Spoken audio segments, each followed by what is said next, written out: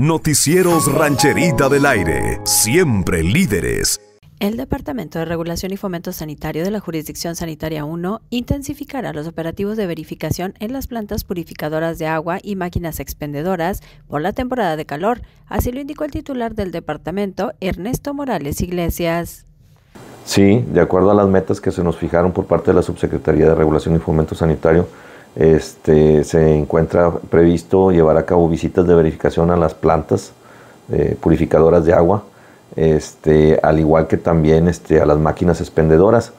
Eh, por eso es muy importante que ellos adecúen eh, su infraestructura sanitaria de acuerdo a lo que nos establece la norma oficial mexicana 201-2015, ¿verdad? Con el objetivo de evitar que el día de mañana sean suspendidos.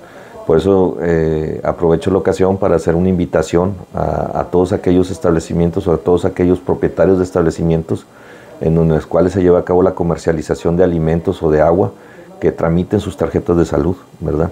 Es algo muy importante porque de esta manera es la única forma de comprobar que efectivamente cuentan con la capacitación para el manejo este, adecuado y las buenas prácticas de higiene que deben de prevalecer en la preparación de alimentos o en los mismos establecimientos.